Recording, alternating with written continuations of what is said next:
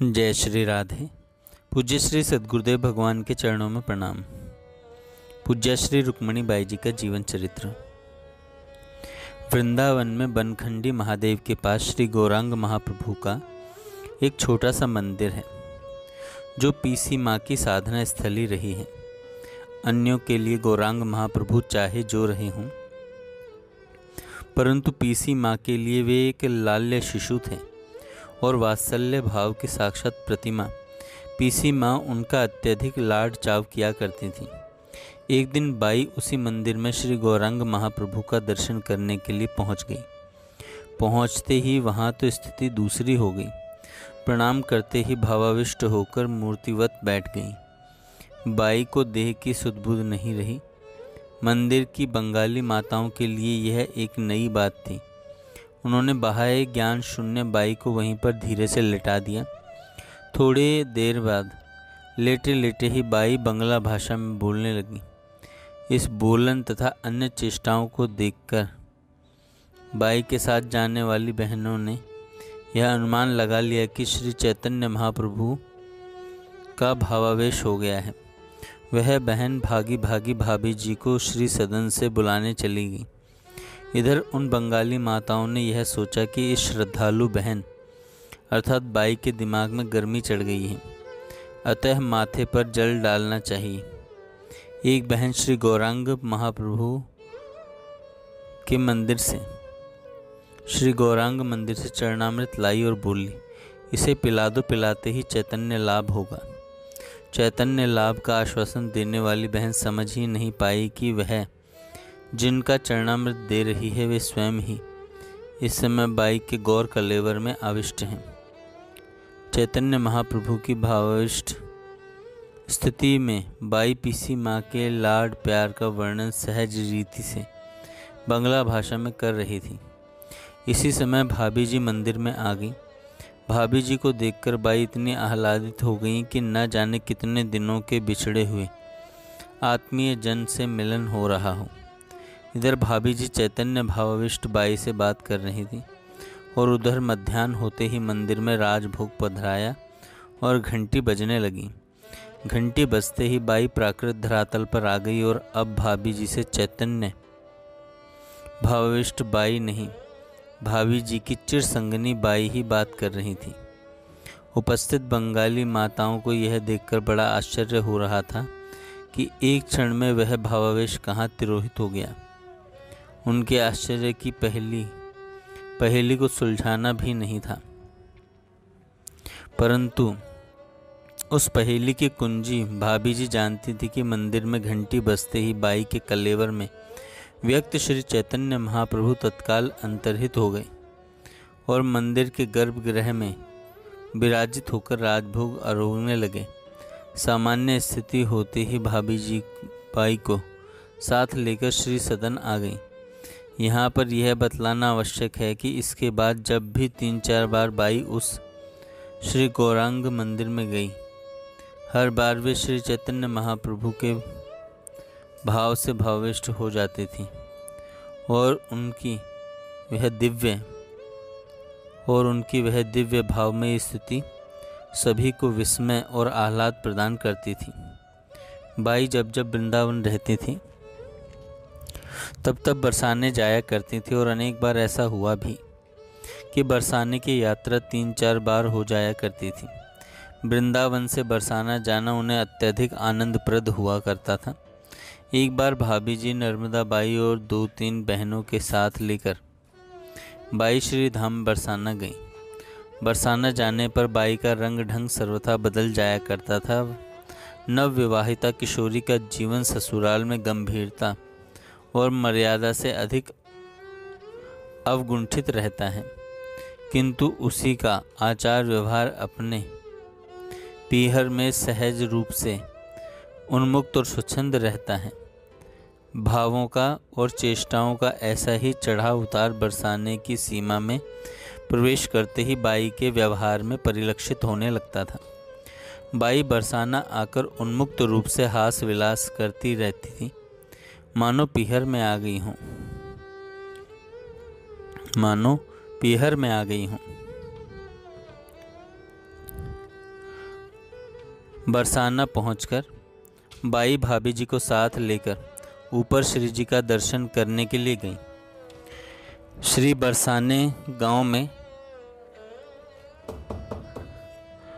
श्री बरसाने गाँव में लाडली जी का मंदिर एक छोटी सी पहाड़ी के ऊपर स्थित है और लगभग डेढ़ सौ ऊँची ऊँची सीढ़ियों को चढ़ कर के ही दर्शनार्थी वहाँ पहुँच पाते हैं।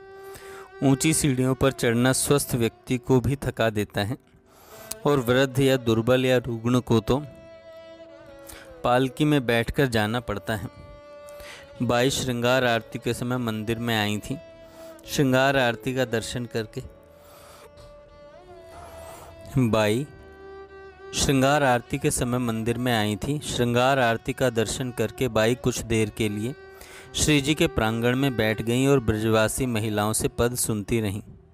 क्या ही संयोग की बात है कि ये सभी महिलाएँ प्राय बाई की समवयस्का हुआ करती थीं। पद सुनाने वाली इन महिलाओं से बाई को ठिठोली करने में न हिचक थी और न संकोच था। पद सुनते सुनते और हँसी विनोद करते करते मध्यान्ह हो आया। तभी मंदिर में राजभोग हो गया। राजभोग के बाद आरती करके पट लगा दिया गया। इसके बाद मंदिर में ही बाई, भाभी जी आदि सभी ने प्रसाद पाया, फिर मंदिर को प्रणाम करके पहाड़ी से उतरकर सभी विश्राम करने के लिए नीचे आ गई। सायकाल पुनः ऊपर मंदिर जाने के लिए तैयार होकर बाई भाभी जी से बोली, भाभी जी चलिए। लाडली के पास चलते हैं। भाभी जी ने कहा भाई मैं तो दोबारा चढ़कर ऊपर मंदिर में नहीं जा सकूँगी। जा तू दर्शन कर आ। मैं तो पहले से ही बहुत थकी हुई हूँ। बाई ने जिद करके भाभी जी को भी साथ ले लिया और ऊपर मंदिर में आ गई। वे रात्रि शयन तक मंदिर में ही बैठी रहीं। वहाँ ब्रजवासिनी महिलाएँ आती और बाई उनसे इस प्रकार घुल मिलकर के बातें करती, मानो वे अपनी से अपनी हों। सचमुच यही लगता था कि वे सब बाई को अत्यधिक प्यार करती हूँ। देखने, सुनने वाले यही समझते कि बाई अपने पारिवारिक जनों के मध्य बैठकर खुले मन से बातें कर रही हैं। मंदिर में श्री जी के शयन हो जाने के बाद बाई भाभी जी आदि सभी नीचे आ गई। रात्रि में सोते समय बाई ने भाभी जी से पूछा, आपके पाँव में दर्द हो रहा है तो तेल लगवा लीजिए। भाभी जी ने कहा, भाई जो जो बहनें अपने साथ आई हैं, वे सभी तो थक गई हैं। मेरे पाँव में तेल कौन लगाएगा? बाई सोचने लगी कि भाभी जी के पाँव में तेल मालिश हो जाना ज़रूरी है। मालिश से पाँव का दर्द ठीक हो जाएगा, तभी मैं कल भाभी जी के साथ घूम सकूँगी। यदि पाँव में पीड़ा रही तो भाभी जी का घूमना हो ही नहीं पाएगा। बाई ने चट हँसते हुए, भाभी जी आपके पाँव में तेल तो मैं ही लगा दूँगी। इस प्यार भरे प्रस्ताव ने भाभी जी के हृदय के तारों को छेड़ दिया। देह दर्द से पस्त थी, परंतु भाभी जी का रोम रोम स्नेह से सिहर उठा। भाभी जी को यह स्वीकार था ही नहीं कि बाई से मैं अपनी शारीरिक सेवा करवाऊं।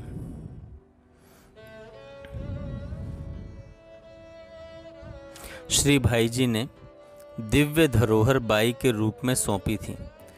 उसकी वे मन ही मन वंदना किया करती थीं। प्रसंग को टालने के लिए पुलकित मुकलित, अधरों से विकलित विगलित स्वरों में भाभी जी ने धीरे से कहा, बाई, तेरे प्यार से दर्द अपने आप ठीक हो जाएगा। बाई के लिए भाभी जी की पीड़ा अनदेखी करना असहनीय हो उठा।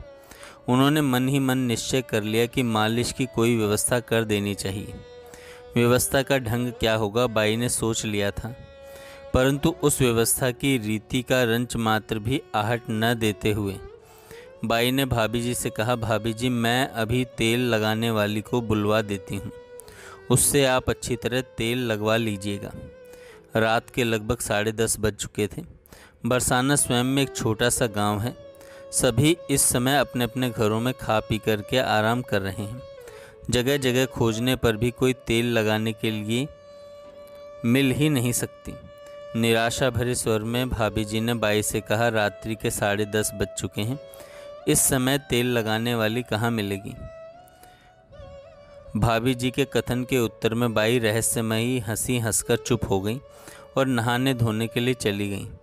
मंदिर में दो बार जाने के लिए दो, जो दो बार चढ़ना और दो बार उतरना हुआ उससे अत्यधिक थकी भाभी जी मन मारकर बिस्तर पर चुपचाप लेट गईं। आधा घंटा ही बीता होगा कि दो किशोरियाँ आई। उनके हाथ में तेल की शीशी थी। नक्शिक ब्रजवासी वेश था। भाभी जी ने इतना ही देखा कि उन गोरी गोरी किशोरियों ने घाघरा पहन रखा है और सिर पर चुनरी डाल रखी है। वे दोनों किशोरियाँ उस कमरे के द्वार पर आईं, जहाँ भाभी जी लेटी हुई थीं। कमरे के द्वार पर आकर दोनों में से एक किशोरी ने मधुर स्वर में कहा, कोई तेल लगवाएगी क्या? उस किशोरी के प्रश्न को सुनकर भाभी जी के मन में चिंतन की दो धाराएँ चल पड़ी। पहली, बाई के लिए और दूसरी, किशोरियों के लिए। किशोरी के मुख से तेल लगाने की बात सुनकर भाभी जी बड़े रीझे रीझे मन से। बाई को याद करती हुई मन ही मन कहने लगी कि बाई की प्रेम परवशता पर रोम रोम बलिहार है। वह अपने मन की बात को पूरी करने के लिए आकाश के तारे भी ज़मीन पर ला सकती हैं। उसे रात को भी चैन नहीं मिला और न जाने कहाँ से तेल लगाने वाली को बुला लाई। बाई की भेजी हुई ये दोनों किशोरियाँ ही आकर मुझसे तेल लगाने के लिए पूछ रही हैं। दूसरी धारा इन किशोरियों के प्रति थी। वे साधारण स्तर की बालिकाएँ क्या इतना मीठा बोल सकती हैं? और क्या इतना शील उनके पूछने में हो सकता है? उस प्रश्न की बोलन ऐसी थी कि जिसके शब्द शब्द में शील और मिठास भरी हुई थी। उस बोलन की मधुरता में मन से डूबी हुई और शरीर में थकी हुई भाभी जी ने कहा, भीतर आ जाओ। वे दोनों किशोरियाँ छम छम करती अंदर आ गईं। एक तो अंदर आते ही बैठ गई और दूसरी तेल लगाने लगी। तेल लगवाते समय भाभी जी ने उससे पूछा, तुम्हारा घर कहाँ है? किशोरी ने कहा, मैं यहीं पास में रहती हूँ। भाभी जी ने पूछा, तुम्हारे घर में कौन कौन है? किशोरी जी ने कहा, किशोरी ने कहा, मैया, बाबा, बहन, भैया, सभी हैं। भाभी जी ने कहा, तुम्हारी शादी हो गई। इस प्रश्न से वह किशोरी शर्मा गई। लज्जा के मारे अधर खुल नहीं पाए। यह सुनते ही उसकी सल्लज आँखें कुछ झुकसी गईं। वह चुपचाप तेल मालिश करती रही, उसके मौन ने स्वतः ही प्रश्न का उत्तर दे दिया। तेल मालिश होने से दस मिनट के अंदर ही भाभी जी को नींद आ गई। किशोरियाँ कब चली गईं भाभी जी भी नहीं जान सकी। संयोग से तेल लगवाते समय भाभी जी के कमरे में अन्य कोई भी बहन नहीं थी, इसलिए उन तेल लगाने वाली किशोरियों को किसी ने भी नहीं देखा। प्रातःकाल उठकर भाभी जी ने बाई भाभी जी ने कहा, बाई, रात में जो छोरियाँ तेल लगाने के लिए आई थी उन्होंने इतनी बढ़िया मालिश की कि मुझे तो शीघ्र ही नींद आ गई। और अब मेरे पाँव का दर्द बिल्कुल ठीक है। भाभी जी की बात सुनकर वहीं रहस्य भरी हँसी हँसते हुए बोली, भाभी जी, आज भी उन्हीं छोरियों से तेल लगवा लीजिएगा। भाभी जी ने कहा, मैं जब तक बरसाना हूँ तो उन्हीं को तेल लगाने के लिए कह दें। बाई ने कहा, भाभी जी, उन्हें जो बुलाकर लाया था, उसी से कह दीजिए कि रोज़ बुलवा देगा। भाभी जी आश्चर्य से बाई को देखती हुई बोली, उनको तो तुमने ही बुलवाया होगा। बाई को तो रहस्य उद्घाटन करना था नहीं। अतः उन्होंने उन किशोरियों को बुलाने के लिए मैंने तो किसी से भी नहीं कहा। उन्होंने कहा कि मैंने नहीं कहा। अब तो सबसे पूछताछ होने लगी, घर में किसी ने भी उन किशोरियों को आते जाते नहीं देखा। तेल लगाने वाली भी रात्रि के 10-11 बजे आई थी। यह बात ही सबको आश्चर्य में डाल रही थी। आसपास में जिन जिन के घर थे, वहाँ पर पूछताछ की गई, पर सभी अनभिज्ञ थे। अंत में यह बात बाई को बतलाई गई। सब कुछ जानते हुए भी अनजान बनकर बाई ने आश्चर्य में तरीके से भाभी जी से पूछा भाभी जी वे किशोरियाँ कैसी थीं? भाभी जी बोली, बाई, वे तो एकदम तेरह चौदह वर्ष की आयु, परंतु गोरी गोरी घाघरा पहने छम छम करती चल रही थी। मेरे विचार से वे अभी नव विवाहिता ही थी। बाई ने पूछा, भाभी जी, उनके विवाहित होने की जानकारी आपको कैसे मिली? भाभी जी ने कहा, मैंने उनसे पूछा तो वे शर्मा गईं। बरसाने में तो छोटी आयु में ही छोरियों का विवाह कर दिया जाता है। भाभी जी बड़े भोलेपन से सारी बातें बता रही थी। भोली भाली, उनकी भोली भाली बातें सुनकर बाई खिलखिलाकर हंसती हुई बोली, भाभी जी, आप लाडली के पीहर आई हैं ना? कहीं लाडली ने आपके आतिथ्य हेतु तेल मालिश करने के लिए तो उनको नहीं भेज दिया था? बाई की बात सुनकर सबका ध्यान उस रहस्य की ओर गया और अब सभी को विश्वास होने लगा, वास्तव में लाडली जी ने ही अपनी किन्हीं सहचरियों को इस रूप में भेजा होगा। भाभी जी तो लाडली के प्यार की स्मृति मात्र से गदगद हो रही थी। जय श्री राधे।